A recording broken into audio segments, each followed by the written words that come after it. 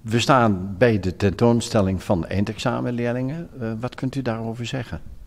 Uh, dat is een tentoonstelling voor leerlingen die voor het keuzevak fotografie hebben gekozen. En dat zijn zowel leerlingen die bij ons binnen het profiel media, vormgeving ICT zitten.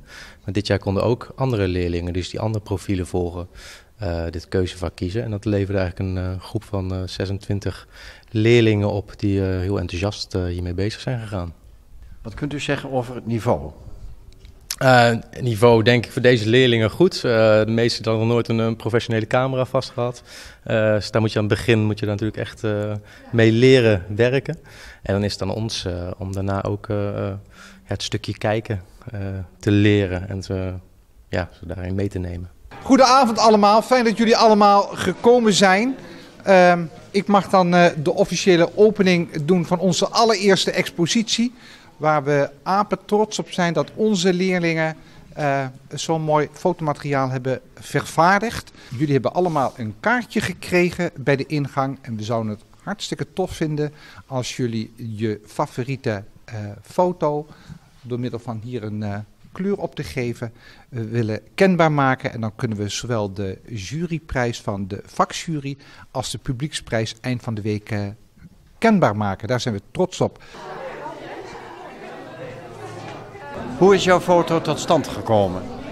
Nou, um, ik zag een lantaarnpaal, heel simpel eigenlijk. En ik dacht, wat zou er gebeuren als ik een foto daarvan maakte? Wat zou er gebeuren met het licht? Maar het probleem was, het was een vrij hoge lantaarnpaal. Dus dan heb ik uiteindelijk op een muurtje heb ik een fiets neergezet die een vriend vastpakte. En dan ging ik op de fiets staan en dan heel, uh, heel erg uitstrekken en zo uiteindelijk deze foto gemaakt. Er zijn foto's bij die, uh, ja, waarvan je het verhaal graag zou willen weten. Je, je kijkt naar iedere foto en dan wil je natuurlijk graag weten... Ja, wat heeft iemand bewogen om, uh, uh, om, zo, om die foto op die manier te maken. Ja, dus wij zijn eigenlijk gewoon gaan beoordelen van... Goh, weet je, hoe ziet de foto...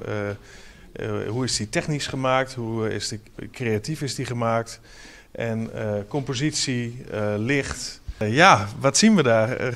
heel abstract... Maar het, het, blijft wel je, je oog trekken, tenminste van ons als vakjury wel. Uh, ja, de winnaar, er kan eigenlijk maar één de winnaar zijn. En ja, daar vinden we een foto, daar zit veel diepte in. Uh, compositie is goed, lijnenspel is mooi. En uh, ja, qua te techniek zit hij ook gewoon erg goed in elkaar. Dus. We hebben met z'n drieën hebben we eigenlijk de foto bedacht. En Jori is de, de fotograaf daarvan ja, we vonden het wel gaaf dat zeg maar vanaf um, als je de, de, de elastiekjes vlak voor de camera zet, dat het dan eigenlijk wazig wordt. En wanneer je hem verder afdoet, de elastiekjes minder wazig worden. Ik begrijp dat je met z'n drieën moet delen, dus uh, ja, blijft er voor iedereen net ja. genoeg over. uh, alsjeblieft, nee, gefeliciteerd. Ja.